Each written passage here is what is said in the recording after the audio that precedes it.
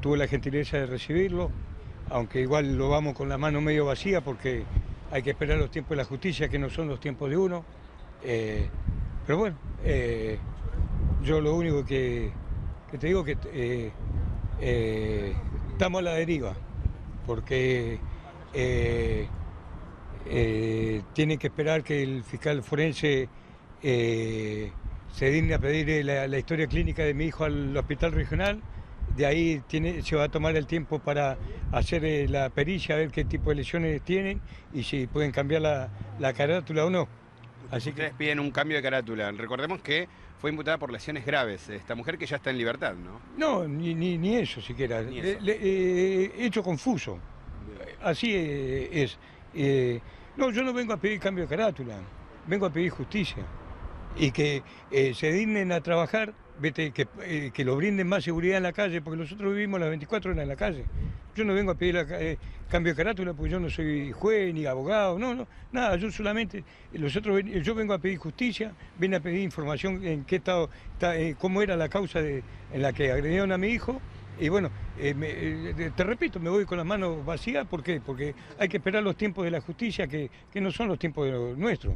Vete, mientras yo tengo a mi hijo tirado en la cama, ¿Cómo está Claudio? Eh, Eso le iba a preguntar. y recuperando de a poquito. Él le perforaron un pulmón, había llegado al hospital ya con un, un cuadro este, cardiorrespiratorio severo, lo operaron ahí mismo en la guardia, que le agradezco a los médicos del hospital regional porque le salvaron la vida. ¿Cuánto tiempo esperó Claudio la llegada de una ambulancia ahí en el sector? 20, 25 minutos, eh, algo de eso me dijeron los compañeros, que no, la verdad que eh, hacía la pasada me comentaron, que era lo que menos, a mí en ese momento me importaba solamente la salud de mi hijo, ¿no? No, no. ¿Lo trasladan los mismos compañeros? Los compañeros, sí, la ambulancia nunca llegó, nunca llegó a- al lugar. Una parada eh, que decíamos ahí a metros nada más mataron a un estudiante para robarle. sí, sí, ahí en, la- en la- en la- en la mi- en el mismo lugar, o sea, a 20 metros, eh, de donde lo matan al chiquito eh, Gonzalo, a 20 metros de ahí fue.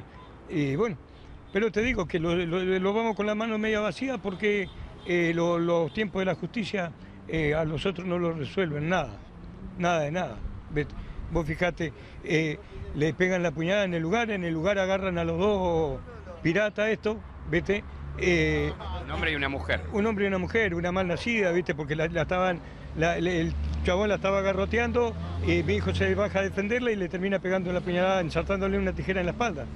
Eh, eh, le- la, la detienen en el lecho, le secuestran el, el cuchillo, seis meses de investigación. Vos te, te encontrás con, con nada. Ahora hay que esperar que el, el médico forense pida los, eh, la historia clínica. Yo no, no, no, no, por ahí no entendés, ¿viste? No entiende los tiempos de la No, justicia. no entiende los tiempos. A ver, ¿qué está esperando si ya a mi hijo le dieron el alta? O sea, lo, lo- lo mandaron a la casa, no es que le dieron el alta. ¿eh? Eh, yo no, no quiero hablar lo- la otra parte porque estoy agradecido del hospital regional que le salvó la vida a mi hijo. Vete, eh, mi hijo está en, la, eh, en la cama, vete, estos gozan de buena salud, libertinaje en la calle y, y el médico forense ahora tiene, eh, no sé qué tiempo para pedir una historia clínica que va a- o llama por teléfono al hospital y, se la van a pasar, vete, si tienen contacto.